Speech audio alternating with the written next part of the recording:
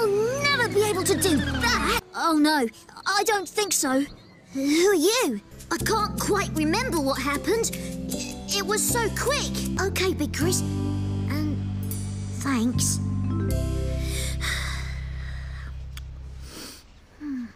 Phew, my axles ache after all that. Allô, bonjour, Roary! Look, mon petit, my little friend. Here's your favorite comic book. Decided where to go yet? Oh, stop trying to make up Roary's mind for him. He wants to go to the countryside. Well, all right, Roary. But don't do it again. Oh, no, no, no, no, no, no. Enough is enough. Roary's been playing us along. He needs to be taught a lesson. I'm Sissy. Oh, hello, Mon petit, my little friend. Of course you will. I'm Zizi. At me. Yeah, I wonder what could have broken my concentration. You gotta put me back together. Today's race is for the championship, and H.J. Hollis is only a few points behind. Spare parts? No, no, no, no, no, no, no, no. I am a precision instrument of speed and aerodynamics. How am I supposed to beat Hollis with that random junk? There's no point. I'm not racing. What are you doing? Wait a minute. You have a sister? Sure. Let's make it a road trip. Hold it right there. You again. Thank goodness you're all right. Hold on. Now, it wasn't a, a fight. It was just a professional disagreement. You're uh, going somewhere with this? True, but uh, I don't know. Why won't anybody listen to me? Maybe you should do the trick when you remembered the magic word. Wow. Hmm. I wonder. so this is where you disappeared to. That's true. Hmm. I've got an idea that will make everyone happy. I was talking to the alarm clock. Mind you, the only alarming thing about this is the number of times it fails to work and makes me late on a morning. Well, it's done it once too often. Aha, I hear you say. If he's got an alarm clock that doesn't work, why doesn't he have a spare? Well, I do. I got one of those super duper radio alarm clocks. But the fact is, the radio doesn't work, and as for the display unit, it's been flashing ever since the day I bought it, and it's never worked. So, you have flashed your last, my friend. But don't worry, I do have a standby alarm clock.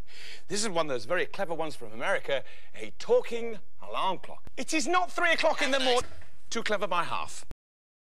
Well, well, well, well, well, well, well. Ben, you are like a couple of Saturday boys, isn't it? I like to see people enjoying themselves. When you work on television, it's very important to have a good relationship with the camera. Oh, mighty. A mattress is all key. Right one bit of a song, that's what he wanted it. Hi, Vicky. I came to tell you that my strawberries were ready for picking. Oh, I was so excited I didn't see the milk bottles. I'm so sorry. I grew them all by myself. Oh, what? Why not? Hi, Fifi. I got here as fast as I could. I've only got a couple. Bumble's gone to get the rest. Wow, Fifi. You're the cleverest Flowertot in the world. Oh, buttercups and daisies. Don't worry.